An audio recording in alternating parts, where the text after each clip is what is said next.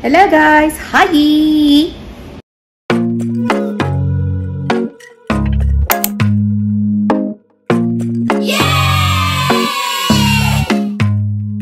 So, for a change, I will try to attempt to film on my back camera ngayong araw.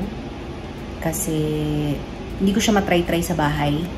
But, try ko. Pero hindi ko sure kung okay yung audio ko kasi nga, kapag nakaharap yung camera, mas audible ako. Pero pag nakatalikod, I'm not sure. But, hindi rin ako sanay na nandito sa baba yung lens. Anyway, that's life. So, yes! That's the goal for today, to make a vlog using my back camera.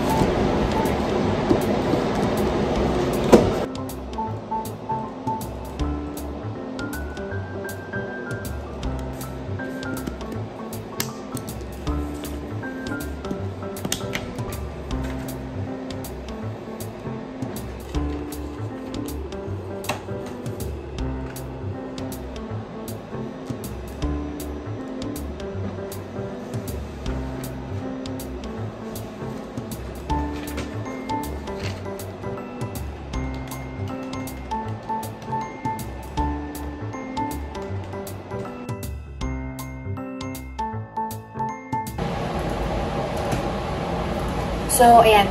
Katatapos ko lang nag-send ng aking Scorpion Sting notification. Kasi ano, every day, kapag may mga ganong cases, yun ang sinesend ko early morning. So, this past few months, ang daming nasisting ng Scorpion. Siguro kasi sobrang init. Siguro lumalabas sila and then nasa bahay yan guys, sa loob yan ng bahay nila nasisting sila. Maliliit lang naman. So, yun. Kahapon, apat ang nasend ko. May apat na na Scorpion Sting. Basta this month, kapag panahon ng tag-init, nasisting sila ng scorpion. By the way pala guys, kung mapapansin nyo, pag nagvo-vlog ako, maingay, like may naririnig ko yung shhh, that's because of that one. Uh, I don't know, parang yan yung internet, may mga wires kasi siya. Ito yung mga, I don't know, internet something.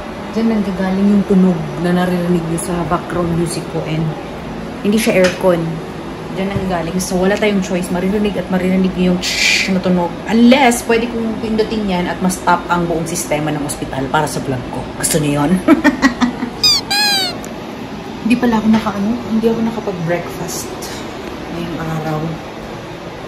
Pero wala naman talaga akong plano kumain ng breakfast today, guys. Kasi kumain ako ng dinner kagabi. Si Ate Juliet kasi nagluto siya ng pinakbit na may alamang. Eh, patulog na sana ako. Sabi niya, ka! May ulam, gusto mo? Sabi ko, ote, gusto ko. Kumain ako ng late kagabi. So, pag kumakain ako ng late, hindi ako kumakain ng morning kasi feeling ko yung pinakbit na sa tiyan ko pa. Now it's what? It's almost 9 a.m. Ngayon, gutom na ako. So, meron akong tinapay actually. May dala akong tinapay. Tsaka may baon din ako ngayon guys. Ang lunch ko today is hindi kanin. Mag-egg sandwich ako mamaya. Dala ko yung toaster ko. so ngayon kakain na ako ng tinapay tsaka magkakape lang ako. And then, yun lang ang buhay ko. Actually ngayon, itatouch ko yung trabaho ko na gusto ko concentrate ako. So ngayon ko siya itatouch. Yun yung for si, si Bahi files ko. Kasi tapos ko na yung mga files. Ito, hayaan ko na to sila. Wala naman ng kwenta yan. Hindi ko na yan sa part ng work. So, change of plan. Hindi ako magkakape guys. Magmamaylo lang ako. Kasi mamaya, pagkakain na ako ng ano, egg sandwich ko, gusto ko kape ang pares ng egg sandwich ko. So, ngayon, Milo lang. And then, yung tinapay ko kasi ngayon, ano, yung parang cheese na nakalagay sa pack. Pakita ko sa inyo mamaya. Yun lang naman yung tinapay ko. So, ito yung breakfast ko, yung cheese croissant. Nakapack na siya dati. Tapos, uh, may cheese lang siya sa loob na medyo maalat. Kaya sabi ko, ay, yung Milo na lang yung inumin ko ngayong araw. So, after taking my breakfast, um, yun, sisimulan ko na yung work ko. And hindi mo na ako mag-vlog, guys, kasi kailangan ko mag-focus that time. So, I'll probably start my work at around 9.30. Kasi pag nag-start ako yun, guys, on the zone yun ako, siguro matatapos na yun ako ng alas 12. So, yes, I'll just eat my breakfast and I will see you later. Okay? A few moments later. 0.5. Gusto ko tayo 0.5. Okay bang 0.5, guys? So, time check. Sabi ko sa inyo, alas 12 na. Alas 12 na, konti pa lang nagawa ko. Ano to? Nagkalat-kalat na yung, yung gandito. nagkalat-kalat na yung file kasi nagsilabasan na ang mga file ko guys. So, tayo ay mag-ready na ng lunch. Yee! Konti lang yung nagawa ko pero happy ako kasi at least nakapagsimula na ako. And I realized something na ang dami kong gagawin. And na-realize ko lang din na starting tomorrow, not tomorrow, my next duty, ipaprioritize ko yung mga bagay na dapat kong inaasikaso na kaysa dun sa mga minor, you know, minor things. Hindi ko bet ang 0.5. So, punin ko na ang aking toaster. Nilagay ko sa freezer yung egg sandwich para lumamig for a while. ang dami kong kalat. Tingnan nyo, kalat ko yan. Kalat ko yan kasi nagkal-kal-kal-kal na ako ng mga, alam mo yun, related things. So, mag-toast lang ako, guys. Alis pala ako ngayon, guys. Pupunta ako ng, ano, dun kila Ernest. Ako kila Ernestine ngayon. So, kain ako ng, yan, lunch. Then, ang sarap ng timpla ng kape ko. Ito ang magpapasaya sa akin. Ah, grabe. Hindi pa mainit yung ano ko, tinapay ko, guys. Gusto ko na kumain. Excited ako kumain. Ginawa ko yung ano ko, yung egg sandwich ko.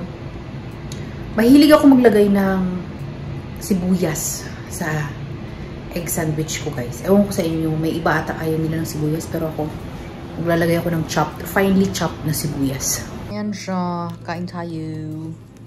Kain tayo. Naglagay na ako ng lipstick ko dito sa drawer ko, guys. Kasi, wala na. Guys, alam nyo ba? Natawa tuloy ako. Meron akong dalawang clip na pabaligtad ni kayo. Kasi, ewan ko, nakabaligtad yung phone pero na dun siya nakaharap. Totoo tuloy ako. Ewan, dami kong clip na ganun. Anyway, katatapos ko lang kumain yung egg sandwich ko, kaya yun lang din yung clip na napakita ko kasi nakabaliktad yung camera ko habang finifilm ko. So, nagsasalita ako na hindi nakaharap sa akin. But yes, nandito na ako ulit sa aking desk.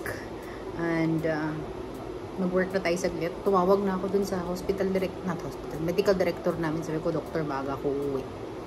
But, yeah, continue tayo magtrabaho. Hindi ko masyado pinipressure ang sarili ko ngayon, guys, kasi alam kong nagiging ugali ko pag sobrang pressured ako. So, relax, relax lang ako kahit pa paano. Um, so, so far, kung tatanungin niyo ko sa hinahawakan ko ngayon na tatrabahuin, out of 100%, I am done 0.5% pa lang. Ganun ako ka. Ganun ako ka. Ano. Anyway, ang, ang, ang, ang, ano to, ang deadline ko naman dito na dapat matapos ko siya 100% is 3 months pa naman. So, I have all of the time that I need. Pero, dadahan-dahanin ko siya as much as possible talagang madami dapat akong matapos without being pressured. Uulitin ko na naman yung video ko. Kasi, di ba back camera ang gamit ko, yun yung challenge ko. Puto lang ulo kong ganito lang. So, anyway, aalis na ako. Kanina pa ako paulit-ulit. Tatlong beses ko nang inulit to. So, sana okay na ako. But this is my fit for today. Naka-black lang ako. Kasi, ano, ano to, bigay sa akin to natin pa. Tsaka matagal na ako hindi nagsusuot ng yung black talaga, like legit abaya. Kung matagal kayo dito sa Saudi Arabia, guys, or kung nanonood kayo sa channel ko, yeah, even before, uh, yung Saudi Arabia, ganito lang talaga. Like, plain black lang. Plus, meron pang cover ang hair. Pero ngayon, wala na. Anyway, gamit yung bigay ni Ate Pat. And then, suot ko yung binili natin sa Shein. Ito na siya, guys. Super cute niya. Nakikita ba? Sana nakikita, no? So, ito na siya. Sakto lang yung ano, like, hindi siya pang yung maramihan talaga na laman. Pero, enough na siya kung halimbawa gagala kayo. That's good. Kung may ibang color pa sana to, nadali na naman ako. Pero that's nice. Cutie-cutie lang. Uh, what is inside my bag? Inside my bag, I have my wallet. May pantanggal ng oil sa muka, lip balm, and headset. You know, those things. Kasi yun lang yung kakasya. So, yun na guys. Ito lang yung gamit ko yung aking relo. Wala akong accessories ngayon. Ito lang pala. Meron lang akong pa-earrings ganyan. Lipstick from Everbelena LTD na matagal matanggal. So, that's it. That is the fit for today. Thank you very much guys for watching my video. If you're new to my channel, don't forget to subscribe to my channel and like my video. Maraming salamat sa walang sawang panonood. Remember to keep safe all the time and God bless you all, okay?